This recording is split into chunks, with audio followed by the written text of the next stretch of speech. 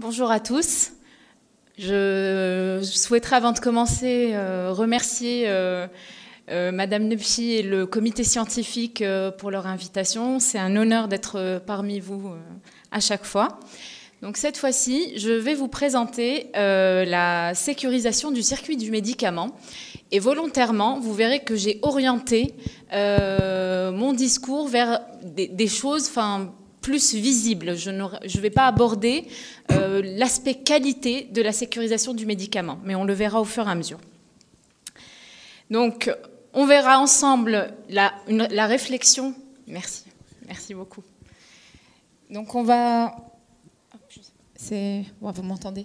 Donc, on va voir ensemble la réflexion autour euh, de la question de la sécurisation du circuit du médicament. Comment on en est arrivé à mettre des choses en place et quels ont été les constats au fur et à mesure du temps. Euh, on va regarder tous les processus à risque dans le circuit du médicament car ils sont nombreux. Il n'y en a pas un, ou deux, il y en a beaucoup. Euh, on va parler du rôle du pharmacien dans la sécurisation du circuit du médicament. On va définir le risque spécifiquement pour le processus clinique. On va voir quelques exemples d'actions mises en place. Alors pour commencer, vous savez tous qu'en fait, c'est une fois que, des accidents graves ont lieu, qu'il y a des choses qui sont mises en place derrière. Ça, on le, voit à, travers le monde. Donc, pour citer un exemple d'accident létal qui a eu lieu, on va prendre l'exemple de ce qui a eu lieu à la PHP. En 2008, il y a eu le décès d'un enfant suite à l'injection par IV de chlorure de sodium, alors qu'il aurait dû avoir du glucose. Pourquoi il y a eu cette erreur Parce qu'en fait, dans les stocks, on a retrouvé euh, une poche de NaCl dans un stock de glucose et ça a été pris par erreur. Donc, suite à, euh, ce décès, le décès d'un enfant, ça a mis euh, au, grand jour les dysfonctionnements graves dans ce circuit-là et surtout la fragilité du circuit. Donc, il s'est imposé par lui-même comme étant un élément de qualité et de sécurité des soins. Le fait qu'on sécurise le circuit du médicament, bah, ça apporte de la qualité aux soins. De nombreux travaux ont été menés autour de cette question et c'est ce que nous allons essayer de, voir, le cheminement à travers tout ce qui a été mené comme, euh, comme, euh, comme travaux. Alors, tout d'abord, on va commencer par les études. Je vais vous donner des chiffres, en fait, des chiffres qui vont, qui, enfin, des chiffres ont été présentés qui ont heurté un petit peu. On a comparé euh, les accidents qui arrivent euh, par la prise de médicaments aux accidents de voiture. Donc, ils ont fait un petit peu la comparaison, un petit peu pour éveiller les consciences. Donc, vous avez 4000 décès en moyenne euh, de, gens par accident de la route, contre 9000 à 12 000 décès dus à des erreurs médicamenteuses. Donc, en fait, c'est presque, c'est plus du double de décès qui sont dus à, voilà, la mauvaise utilisation des médicaments. Vous avez 122 euh, 000 à 170 000 événements indésirables médicamenteux graves qui ont lieu chaque année en France. 50 000 à 80 000 de ces événements indésirables euh, ont lieu pendant l'hospitalisation. Ça veut dire qu'on arrive à l'hôpital et à l'hôpital on, enfin, on doit être soigné, ben, il va y avoir des choses qui, qui vont arriver aux patients et qui seront graves. 41, 41% euh, des causes de décès sont des erreurs de dose. 61 euh, des événements indésirables graves sont dus à des injectables. Donc là, en fait, je vous donne le focus sur les choses qui ont attiré l'attention euh, bah, des autorités ils ont mis en place des, choses en lien, donc notamment pour les injectables ou pour les erreurs de dose. Et quelque chose d'important, c'est le coût au final. Parce qu'une erreur, quand elle a lieu, elle a un coût. Que ce soit une prolongation d'hospitalisation, l'usage d'un traitement, ça peut être plein de choses. Et en moyenne, c'est 3 000 euros. Alors, une étude importante, si je devais en citer, il y en a deux. Il y a EMIR, il y a Eneis. Mais bon, je, vais vous détailler l'étude Eneis. Donc, euh, c'est une étude qui a été menée sur 8000 patients, en moyenne 8000 patients, 35 000 euh, journées d'hospitalisation, et qui ne concerne que concerne que les événements graves. Qu'est-ce qu'un événement grave? Bah, C'est la prolongation de l'hospitalisation, une incapacité ou même un risque vital, ça veut dire ce qui a entraîné un décès. Alors, les premiers résultats ont montré 450 événements indésirables graves, dont 255 qui se sont produits pendant l'hospitalisation. Et parmi donc ces 255, presque 20% étaient liés aux médicaments, ce qui est énorme. Donc, si on fait le focus sur les médicaments, on se rend compte que la moitié de ces événements étaient évitables. Ça veut dire qu'ils n'auraient pas dû avoir lieu. 54% ont motivé l'hospitalisation, 31% euh, concernent des anticoagulants, donc le focus sur les anticoagulants, 16% euh, ont été observés en service de gériatrie et 71% concernent les patients de plus de 65 ans. Donc pareil, focus sur la, sur la population gériatrique.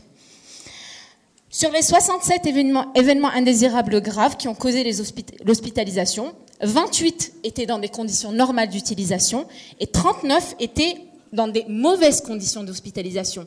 Là aussi, pareil, focus, il y a moyen d'agir sur, sur cette cause-là. Et quelque chose d'important, sur les 39, 39, euh, vous avez 26 qui concernent la prescription. Donc vous verrez qu'il y a eu tout un dispositif autour de, la sécurisation de la prescription. Et c'est ce qu'on verra tout à l'heure. Donc je vous passe un petit peu l'étude EMIR. Donc l'étude EMIR, elle a plus concerné les effets indésirables des médicaments et un chiffre un petit peu voilà qui, euh, qui, qui, qui heurte 144 000, euh, 144 000 hospitalisations par an qui sont dues aux événements euh, indésirables des médicaments. Secondo, donc après l'étude vient le temps des rapports. Donc les hautes autorités, donc la DGOS, les HAS, la NSM, se sont, sont tous d'accord pour dire que les erreurs médicamenteuses sont un sérieux problème et qu'ils sont la cause d'une mauvaise qualité du système de soins. Euh, il faut en faire une priorité nationale. Il faut reconcevoir le système, de, euh, le système de santé et changer la façon, notamment la, façon dont on forme les médecins sur cette question. Euh, tout cela ne peut pas se faire euh, en dehors d'une démarche scientifique. La démarche qui doit être entreprise doit être une démarche scientifique. Troisièmement, vient le temps des mesures, donc des obligations réglementaires et légales. Alors, les objectifs sont communs, que ce soit pour le contrat de bon usage qui a été cité par euh, le professeur Olanier, la certification de l'HAS ou la loi HPST, à sa tête euh, la loi du 6 avril. Les trois ont agi sur quelque chose d'important. L'action va se faire sur ce qui est évitable. Ils ont mis le focus sur ce qu'on peut éviter. C'est-à-dire, on connaît, il y a un risque, il est là, on va essayer de l'éviter.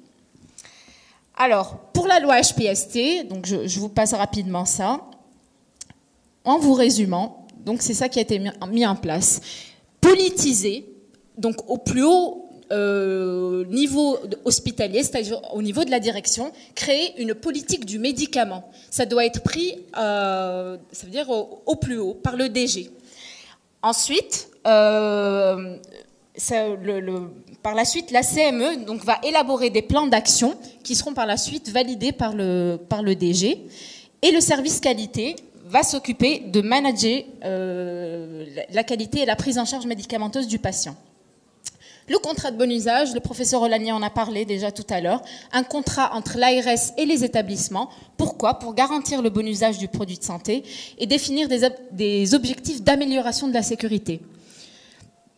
Pourquoi? Ben, Un contrat qui est tenu entre l'établissement et l'ARS, qu'est-ce qu'il garantit derrière? Si on utilise bien les médicaments, ben, euh, l'assurance maladie vous rembourse 100% du médicament.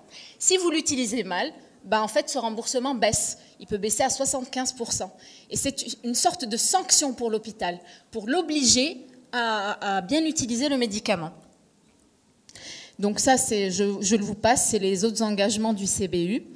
La HAS, à son tour, s'assure que chaque établissement est en situation de maîtrise de ces risques majeurs. C'est-à-dire quoi? Que la HAS, elle va dire, on connaît vos faiblesses, on sait là où vous n'êtes pas bon, et c'est là où on va vous suivre et vous aider à vous améliorer. C'est euh, un petit peu à ça que sert la certification aussi. Donc les, établissements, doivent connaître et agir de façon déterminée sur le risque majeur. Voilà, donc ça c'était euh, les 21 thématiques. Et je vous montre parmi les thématiques de la certification, vous avez la prise en charge médicamenteuse. Maintenant, on va rentrer dans le vif du sujet. Donc, processus à risque dans le circuit, il en existe plusieurs. Il y a ce qui est visible et il y a ce qui, ce qui est invisible. Ce qui est invisible, en fait, c'est la qualité. C'est ce que gère la qualité. C'est ce qu'on appelle les risques, des risques, en fait, qui n'ont pas encore eu lieu. Mais on sait que ce sont des risques. C'est par exemple l'exemple de, médicaments qui ont des noms qui sont similaires et qui se trouvent dans la même armoire. Qu'est-ce que ça veut dire? Ça veut dire, qu'il y a un risque un jour qu'au lieu qu'un patient, qu'un soignant prenne ce médicament, il prendra l'autre, il va injecter le mauvais médicament. Donc en fait, la, qualité gère ce type de risque. Donc ça, c'est ce qui est un petit peu invisible. Et ce qui est visible, on va, on va le détailler ensemble. Donc les processus ARES, ils sont hétérogènes et complexes. Vous avez le processus clinique, c'est là où en fait je vais tout, euh, je vais zoomer surtout sur cette partie-là. Ça va de la prescription, en passant par la dispensation, jusqu'à l'administration. Vous avez le processus logistique qui concerne l'industrie pharmaceutique et la cellule d'achat, le contexte réglementaire qui induit l'insécurité judiciaire, euh, juridique, pardon, on va en parler tout à l'heure avec euh, la validation pharmaceutique, la, la gouvernance éclatée, ça veut dire qu'il n'y a pas une structure qui s'occupe de tout, tout le monde s'occupe de tout, et au final, on sait très bien que quand tout le monde s'occupe de tout, on s'occupe de rien. Les ressources financières qui sont mal réparties et l'outil informatique que je vous ai mis volontairement dans le contexte réglementaire. Pourquoi? Parce que souvent, quand on a, informatisé les services, les médecins, enfin les services nous disent ah oui votre projet, euh, votre votre ordinateur ou votre prescription, oui vous facilitez votre travail. Non, ce n'est pas un projet de la pharmacie, c'est un projet institutionnel. Et ça il faut le répéter. Et c'est pour ça qu'en fait je l'ai placé dans le contexte réglementaire. Le processus d'évaluation des risques, c'est la, cellule qualité. Et vous avez les circuits particuliers, j'en parlerai pas non plus, avec tout ce qui est centralisation des, préparations, donc notamment les URCC. Alors, le focus sur le processus clinique, donc la prescription. Après la prescription, vous avez l'analyse pharmaceutique, la préparation, la dispensation, la distribution dans les services. Donc tout ça, c'est du ressort de la PUI. Ensuite vient l'administration, la surveillance, qui est du ressort de, l'infirmière. Et vous verrez que donc là, vous avez le processus clinique et à côté, hop, avec les commandes, vous avez le processus logistique qui lui euh, donc intervient avec les, euh, enfin, les médicaments qui, sont, qui viennent de l'industrie et les rôles de la cellule d'achat. Donc là, processus clinique, là, processus logistique. Et ce que vous voyez, c'est que les deux convergent vers le patient. Donc s'il y a un dysfonctionnement dans une de ces étapes, c'est le patient qui en pâtit. Pour, alors qu'est-ce qu'on va faire? Ben, On va mettre des verrous. On va essayer de mettre des verrous à toutes les étapes pour euh, limiter le risque. Le rôle du pharmacien dans tout ça, ben, ce qu'il faut savoir, c'est que le patient, euh, quand il voit le médecin et qu'il y a la décision thérapeutique qui est prise et qui arrive à une prescription, finalement, cette, euh, cette, cette décision thérapeutique, elle est prise bon, bien sûr, c'est la clinique, donc le médecin, mais il y a aussi la biologie, il y a la radiologie, il y a le médicament. Donc vous voyez que c'est une collaboration qui est pluriprofessionnelle. Et nous, on intervient donc en tant qu'expert à cette étape-là. Donc il peut faire appel à nous pour, euh, avec notre expertise médicament pour, euh, pour l'aider dans sa décision. Ensuite vient l'étape d'administration. Lors de l'administration, l'infirmière a aussi besoin de nous parce qu'il faut qu'elle qu'elle injecte ses médicaments en respectant les 5 B. Et dans ce type de cas, donc elle fait appel à nous et aux préparateurs pour un conseil. Donc vous voyez qu'on a, enfin, notre rôle n'est pas est, important à deux niveaux dans ce processus. Donc l'efficience du pharmacien finalement, il existe de nombreux intervenants qui, à chaque fois qu'ils ont une problématique avec le médicament, vont venir nous voir, nous. Mais nous, on est où? Ben, Nous, on est isolés. Nous, on est dans notre PUI on est, loin du patient, on est loin des praticiens, euh, des, médecins, pardon. Donc, et en plus, on n'a aucune autorité pour agir sur les aspects cliniques, logistiques ou économiques. Donc au final, on a besoin de nous, on nous appelle, mais nous, on est loin pour pouvoir évaluer véritablement les situations. Donc au final, on est utilisé, on n'est pas utilisé, euh, enfin les praticiens, les médecins n'utilisent pas cette ressource, donc nous, à, bon escient. On n'est pas bien utilisé parce qu'on est loin. Alors, l'expertise pharmaceutique au service du soin, bah, qu'est-ce qu'il faudrait faire? Donc ça, on en parle. C'est sortir le pharmacien du pharmacocentrisme.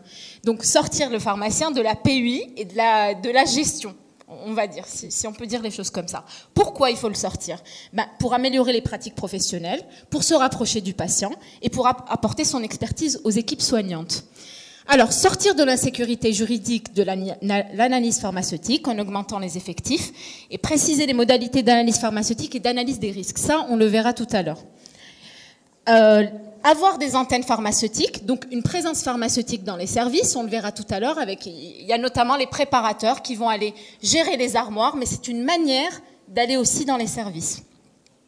Utilisation des référentiels relatifs à la prise en charge médicamenteuse, la conciliation pharmaceutique que je ne détaillerai pas, et vous avez euh, l'éducation thérapeutique. Donc toutes ces choses nous permettent en fait de sortir de la pharmacie et d'aller au plus proche des soignants. Le contexte réglementaire, donc la réglementation, elle est trop riche. Et actuellement en France, qu'est-ce qu'elle nous demande? Ben, Elle nous demande 100% de validation pharma. En fait, il faudrait qu'à chaque fois qu'une prescription est faite, qu'on puisse la regarder. Sauf qu'en réalité, dans la vraie vie, on sait très bien que c'est pas possible. On peut pas voir toutes les ordonnances et ensuite délivrer les traitements. Parce qu'il y a des contraintes sur le terrain. S'il il doit avoir son traitement à 8 heures du matin, ben, il faudra que je vois un ensemble de patients avant de pouvoir voir celui qui a une prise euh, à 8 heures du matin.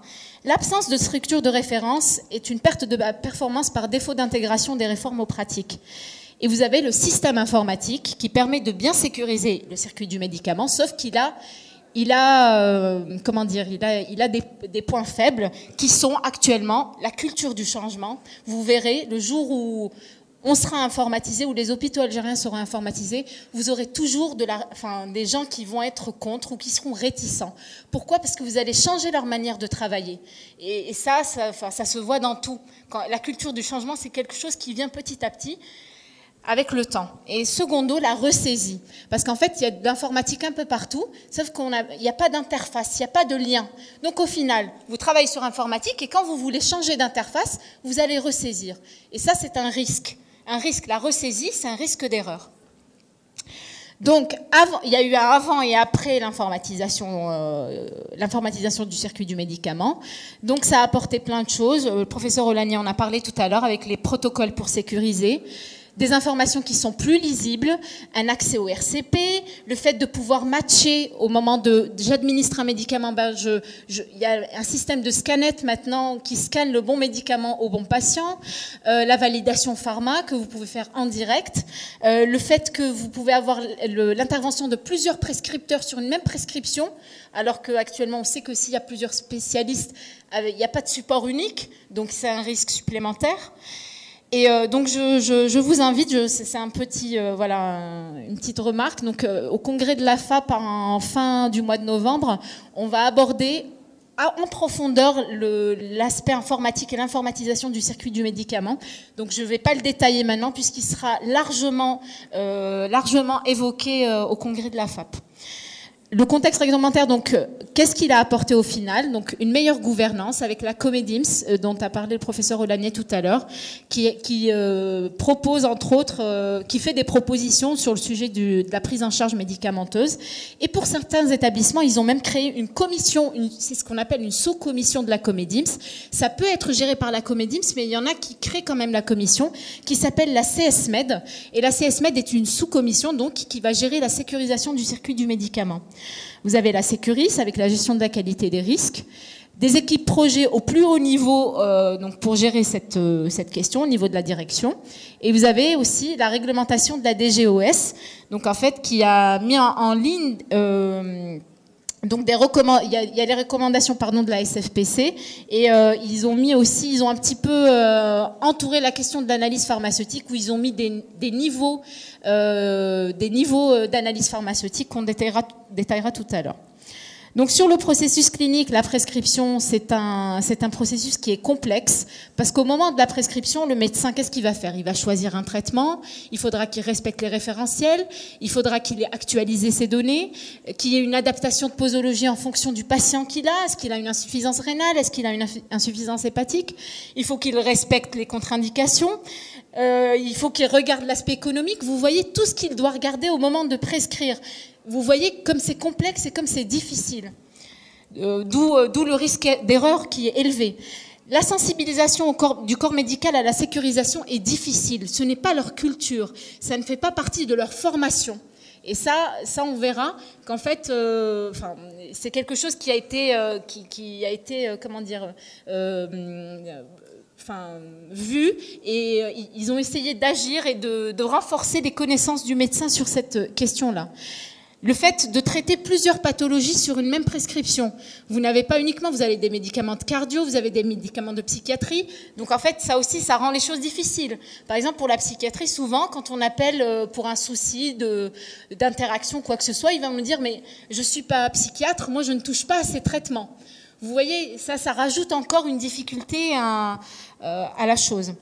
Les changements de spécialité qui sont fréquents, mais ça, euh, la, Comédims, enfin la cellule d'achat a essayé de, pallier à ça.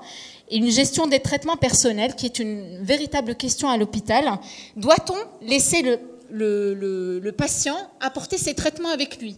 Donc il vient, il ramène ses traitements, il dit ça c'est ce que j'ai l'habitude d'utiliser, et surtout est-ce qu'on les réutilise? Il faut, que, faut que ça soit clair. Est-ce qu'on met des procédures en disant on vous enlève vos traitements, on vous les fournit Ou est-ce qu'on les utilise? Enfin, La question s'est posée, elle se pose dans les hôpitaux. Parce que c'est un véritable problème. Alors, la Comédims donc euh, va avoir une action, donc ça il l'a détaillé, je vais pas, je vais pas aller dans le détail. Donc l'information ciblée sur les pratiques professionnelles et elle gère également le livret thérapeutique. Donc en fait, la Comédims va cibler les besoins des médecins et elle va apporter une réponse à leurs questionnements, à leurs pratiques. Voilà, c'est une aide en fait. Ensuite, faire, faire intervenir le pharmacien dans la formation, puisqu'il connaît bien la question, les protocoles d'aide à la prescription, l'allongement des durées de marché hospitalier. Au lieu de faire un marché tous les ans, ben on fait un marché tous les trois ans, tous les deux ans. Pourquoi? Ben En fait, c'est pour que le médecin n'ait pas chaque année à réutiliser une nouvelle spécialité avec des nouvelles particularités qui feraient qu'il y aurait un risque d'erreur qui serait élevé.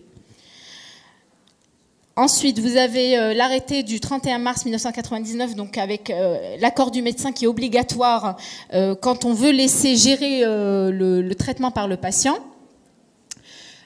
Et enfin, ça je, vous le dis, mais dans certains hôpitaux, pour ceux qui ne sont pas informatisés, avant l'informatisation, ce qu'ils ont fait, c'est qu'ils ont mis en place le support unique. Donc sur un, seul support papier, toutes les prescriptions, toutes spécialités confondues. Ça limite les erreurs. Donc vous n'avez pas plusieurs supports de prescription. Donc je vous ai mis un, exemple de, prescription pour vous montrer en fait toutes les informations qui sont maintenant euh, obliga obligatoires et réglementaires. Leur présence est réglementaire. Donc par exemple, c'est l'exemple là du, de la case DPC. Donc vous avez le poids, la taille, euh, la créate, voilà, euh, toutes ces infos qui sont dans un encart et qui sont obligatoires avant de mettre, avant de pouvoir faire une prescription. Ensuite, là vous avez l'UF et le prescripteur qui est également mentionné. Donc plus haut le, nom du patient avec sa date de naissance et des informations. Et sur la prescription, donc vous avez l'ADC, le dosage, la voie d'administration, vous avez la poso et la posologie par 24 heures également. Et là, vous avez la durée de prescription. Donc toutes ces informations sont réglementaires. On ne peut pas ne pas les avoir. Et ça sécurise en même temps la prescription. Le processus de dispensation, donc avec l'analyse pharmaceutique et les trois étapes que je vous ai montrées tout à l'heure, il y a actuellement des dérives il y, a, il, y a une, dérive. Donc en fait, la réglementation nous impose 100% de validation pharmaceutique. Sauf qu'en fait, on ne fait pas 100% de validation pharmaceutique. Pourquoi? Pourquoi? Parce qu'en fait, euh, on souhaite, on veut faire de la qualité et pas de la quantité. Donc en fait, si vous voulez faire réellement de la vraie validation pharmaceutique, c'est quelque chose qui prend du temps. C'est-à-dire qu'il faut que vous alliez consulter le dossier patient, que vous ayez un minimum d'informations sur ces données, euh, les données anthropométriques, voilà, pour pouvoir euh, euh, calculer sa fonction rénale, faire de l'adaptation de POSO. Tout ça, ça prend du temps. Ça, c'est pas en 30 secondes. Donc du coup, si vous avez un, un nombre de patients, 70 patients à valider par jour, je vous laisse faire le calcul si vous prenez un quart d'heure à 20 minutes pour valider un patient. Donc ça rend les choses difficiles. Donc finalement, nous, on veut faire de la qualité, mais on est en danger réglementairement parce qu'on nous demande 100% de validation pharmaceutique. L'obligation, donc à chaque acte de délivrance, la SFPC donc a mis en ligne un niveau de, validation pharma. Vous avez 1, 2, 3. Ça va de la simple vérification, j'ai la poso, j'ai le dosage, à quelque chose de plus poussé où vous aurez même, euh, comment dire, enfin, vous serez critique sur le choix, par exemple, de ce traitement pour cette pathologie-là. En fait, c'est le niveau 3. La validation actuellement est tributaire de l'informatique. Qu'en est-il du papier? Je, discutais avec un pharmacien euh, hier, et donc il m'expliquait qu'à chaque fois qu'il recevait une, une, ordonnance papier, ben, il essayait quand même de faire une, une, analyse pharmaceutique. Déjà, informatiquement, ça prend du temps, alors j'imagine quand c'est le papier. Les pharmaciens privilégient la qualité, donc ça je vous l'ai dit, à la quantité. Ensuite, pour la préparation, je pense que ça, vous l'avez. Donc, vous avez la dispensation donc nominative, c'est ce qu'on souhaite. Donc, en fait, vous avez l'ordonnance, vous avez une liste de traitements, donc délivrer que ce dont a besoin le patient. C'est ce qu'on appelle la dispensation nominative. Et en fait, on voudrait aller vers 100% de dispensation nominative. C'est un réel avantage en termes de sécurité. Vous avez des mini sachets. Dans ces sachets, vous avez ce dont a besoin le patient dans la journée ou même dans la semaine. Sauf que, bon, vous, pouvez la faire manuellement et vous pouvez même l'automatiser. Mais le 100% est impossible. C'est impossible.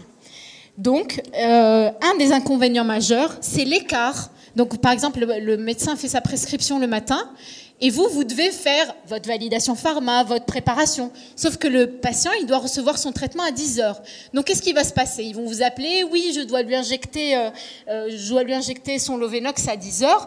Euh, Est-ce que je peux venir récupérer le traitement? Donc, qu'est-ce qui va se passer? L'infirmière se déplace dans le service, et là, qu'est-ce qu'il y a? Rupture de tâche. Donc, l'infirmière est en train de faire quelque chose parce qu'elle n'a pas le traitement, elle va descendre, et ça, c'est un risque. Donc, nominative, oui, mais au final, le risque, il, est, ailleurs après, dans la rupture des tâches de l'infirmière. Avec le nominatif, on associe souvent du globalisé, donc c'est l'approvisionnement du service via des armoires sécurisées qui sont gérées par les préparateurs en pharmacie. Et euh, on parlera aussi tout à l'heure de la dotation en soins d'urgence. Donc en fait, vous avez une, euh, ils ont mis en plus de l'armoire de dotation une, une autre armoire qu'ils appellent une armoire d'urgence avec tous les médicaments d'urgence. Voilà, qui est géré un petit peu différemment.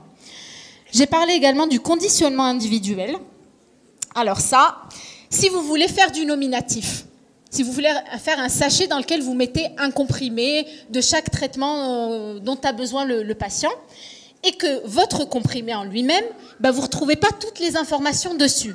Ça, c'est pas sécuritaire. Si vous coupez votre plaquette blistériser et que sur votre comprimé, vous n'avez pas toutes les informations, ben, c'est un défaut, euh, vous n'aurez pas l'information entière et il y a un risque que vous donniez le mauvais traitement au patient. Donc ça, il y, a deux manières de pallier à ça. Donc vous avez le surconditionnement qu'on appelle l'overpackaging. Donc en fait, ceux qui sont mal identifiés ou pas identifiés entièrement sur toute la plaquette de manière nominative, ben on va mettre euh, une sorte d'adhésif de, dans lequel on retrouvera par unité les informations euh, nécessaires. Et ça, bah, ça permet de faire du nominatif et du globalisé. Le déconditionnement, bah, il, concerne, il, concerne, surtout le vrac, et ça dans les automates. Donc vous, vous mettez directement le vrac, et lui, il va vous reconditionner par unité. Et par contre, l'inconvénient, c'est que c'est très chronophage. Quand vous avez des blisters, bah, un par un, vous allez enlever le médicament des blisters et vous allez mettre l'automate. Ils ont chiffré ça à 4 heures par jour, en moyenne. Vous avez aussi un autre inconvénient, celui qu'une fois que vous avez déblisterisé, que vous avez sorti votre comprimé, bah en fait, là et même en termes de stabilité ou de conservation du médicament, il est plus bon. Il est plus dans le blister. Le fait qu'il soit euh, exposé à la lumière, à l'humidité, etc., ça change les choses. Donc il y a un autre inconvénient. C'est vrai que vous mettez donc euh, toutes les infos, mais par contre vous, vous changez la stabilité. Et donc qu'est-ce qu'on va faire? On l'utilisera surtout dans le nominatif et dans les produits qui sont à forte rotation. Voilà, donc ça je vais passer. Euh, voilà, dernière étape, donc l'étape d'administration. L'administration est un acte hétérogène avec, euh, où l'infirmière va devoir faire attention à plein de choses. Elle va devoir vérifier la conformité de la prescription, contrôler et préparer la prise de médicaments, administrer, tracer l'acte d'administration. Donc vous voyez, elle a énormément, énormément de choses à faire en même temps. Et ça, donc les erreurs d'administration sont la conséquence souvent de l'organisation du travail, de la rupture de tâches, donc on l'a vu, le fait qu'elle était en train de faire quelque chose, qu'elle descend, c'est un risque d'erreur.